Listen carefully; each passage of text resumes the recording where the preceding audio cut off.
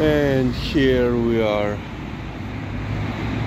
Friday afternoon. And once again I don't know a congestion towards the city.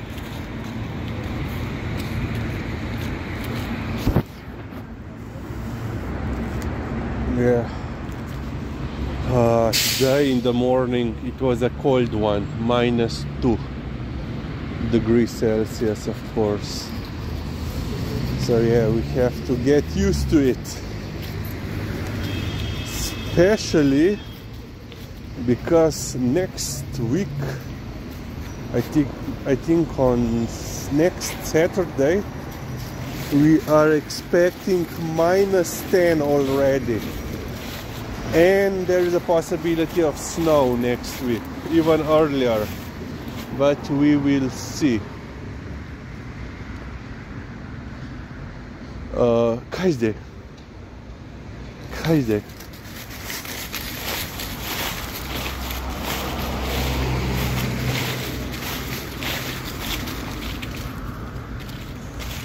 Uh, we will see um, it has been already snowing this past week but you know nothing kept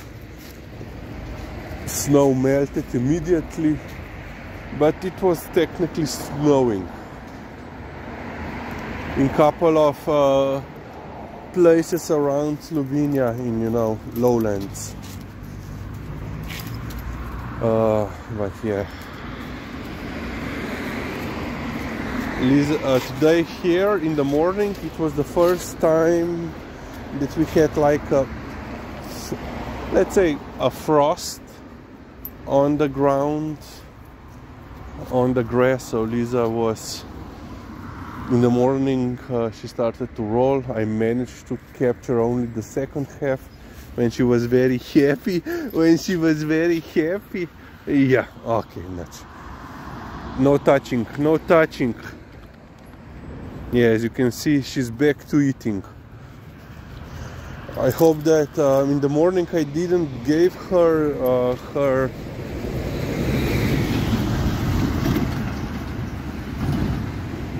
her breakfast uh, she ate all the treats that I had on me during the morning še eno eho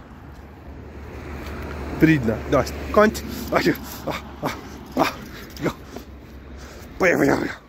Tičkica, pojď, greva. Oh. And now, tačko.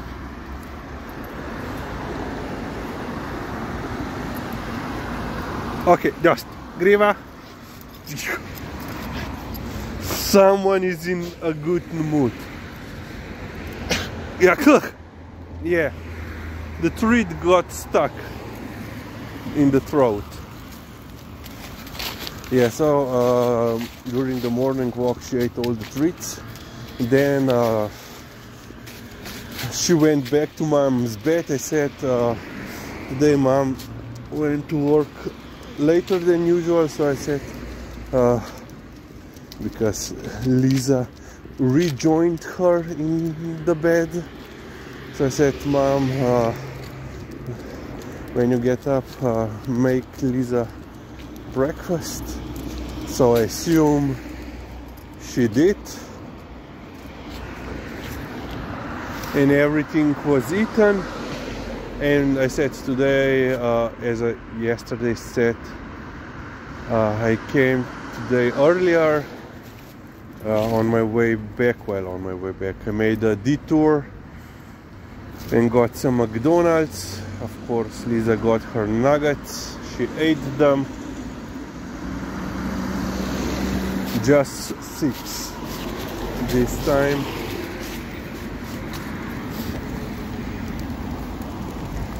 so yeah.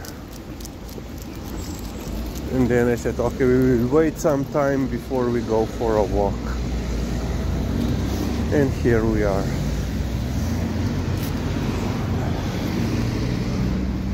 Uh, so yeah, today at 11 the signing of the collective contract for the public sector uh, was done. Uh, so they signed the contract. I still don't know if this now also affects me and my colleagues but I think it did because you know I technically don't know. I'm not a member okay let's go. Like this I'm not a member of any syndicates and I technically don't know which syndicate covers my job. But yeah I think uh, because the vast majority of the syndicates had now signed it even some that said previously last week that they will not sign it they did. So yeah I assume that now uh,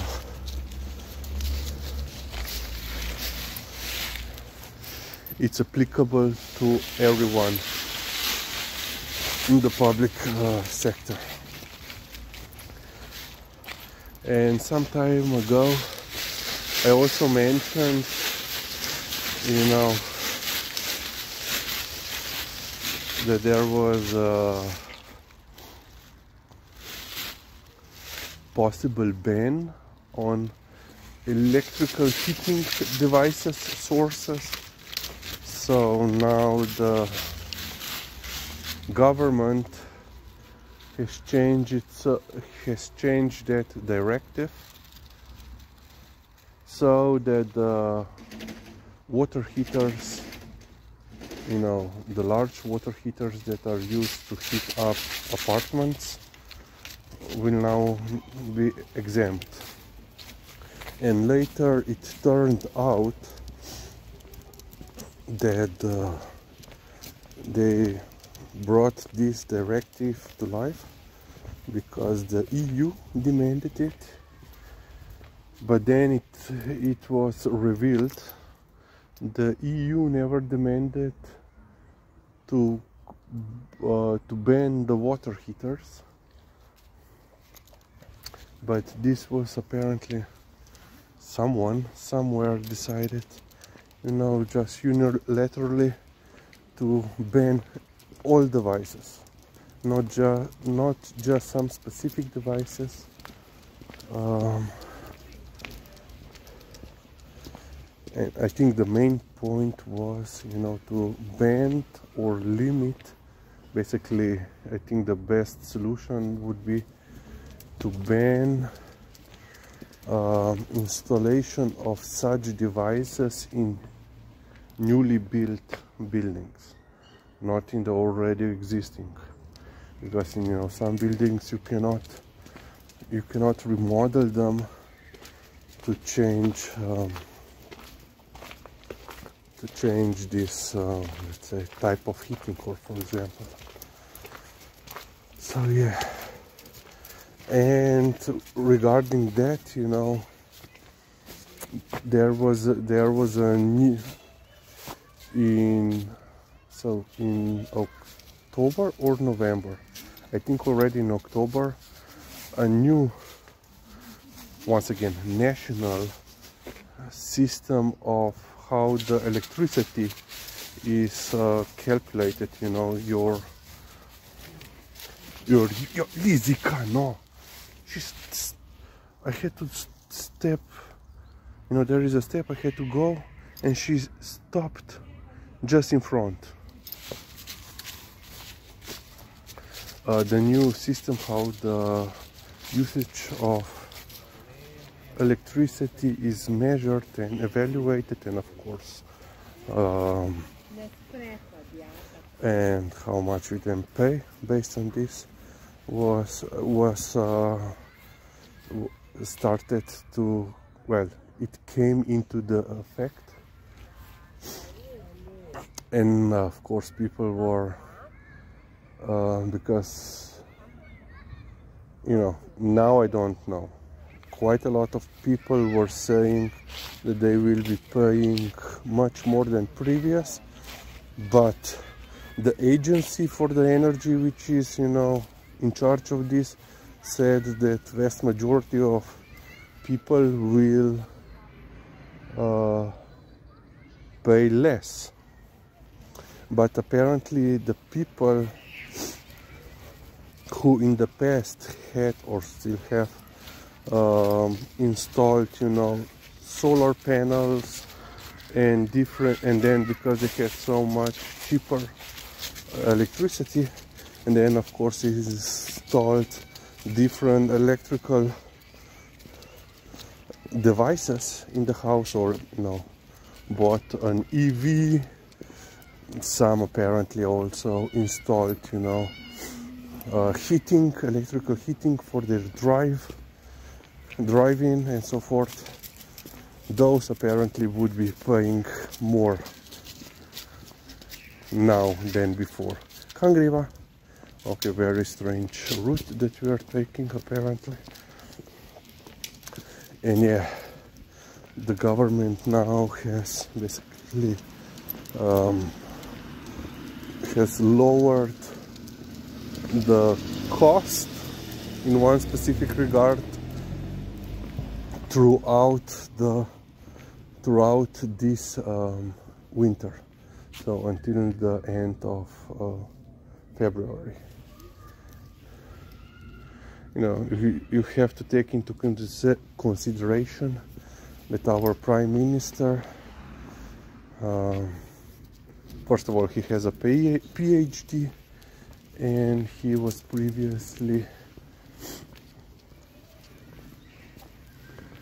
uh, a director of a state-owned uh, electricity um, electricity related um, farm company.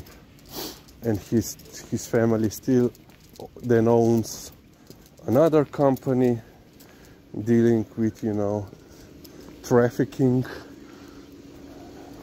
electricity selling and buying you know. So you know this was his um, field of expertise čak i ne, ne, ne griva. Čak i, čak i,